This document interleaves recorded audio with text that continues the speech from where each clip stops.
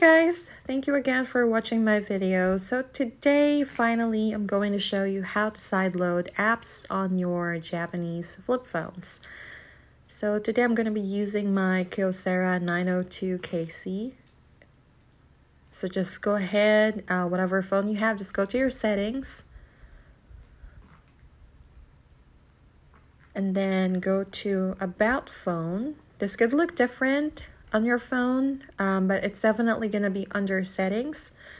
For reference, this is what it looks like on my uh, Sharp phone. So About Phone is under Other Settings. And yours could be similar or it could be a little bit different. So just go and look for it. All right, so again, About Phone. And then um, you want to click that and then find build number. So you want to click this a few times until it says uh, developer options enabled. Mine is already enabled as you can see, so it's not going to do anything. But once you have it enabled, just go back to your settings. And then now you should see an option that says developer options. Um, once again, it could look different on yours, so just look for it. So under developer options, scroll down until you see USB debugging, make sure it's on. By default, this is going to be off, so you want to make sure you turn this on. Now let's go ahead and connect the phone to your computer. Um, first time you connect it, it's going to give you a prompt. So I'm just going to go ahead and click allow. And the next step is to go to your browser. So it doesn't matter what laptop or computer you have, you just need to go to your computer's browser. I believe it has to be Chromium based. Um, so I'm using Chrome. So go to this website, which is webadb.com. And then just press start.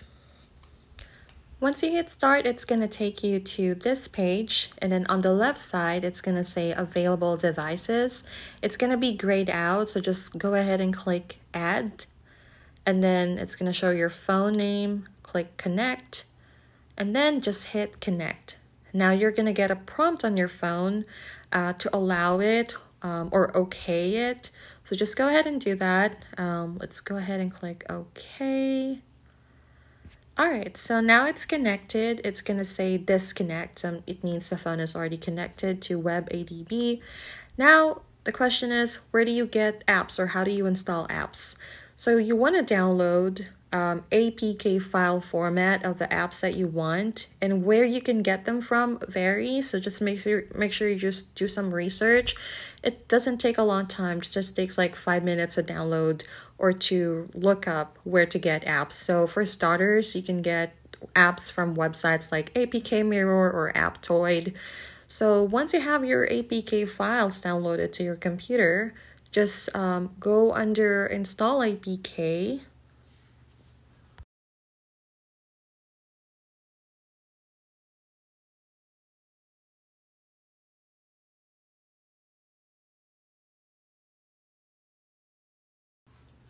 From here, you want to click open and then just look for the APK file that you downloaded. So I'm going to hit open and then in this example, we're, we're just installing the TT9 keypad or keyboard. So I'm going to open this or I'm going to click this and then click open. Okay, so now it's going to start uploading the APK file. So you just wait until it says completed. Once it says completed, um, it means it's been installed on your phone. So you can either do the same thing for the other apps that you have, um, or you can just simply hit disconnect. So now your phone should have the app that you uploaded. So in this case, we should have the TT9 keyboard app, which as you can see, it shows it here. Um, but I would recommend getting Aurora Store APK file instead. Again, search APK Mirror or something.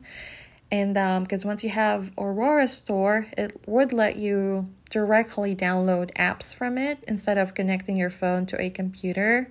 Um, that would be a lot easier as well. So just to show you, this is the Aurora Store. Um, it's going to have options like Messenger, Spotify, and it just makes your life a whole lot easier.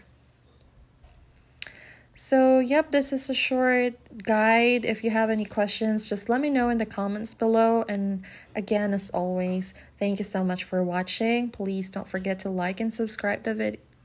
Please don't forget to like and subscribe. And I'll see you in the next one.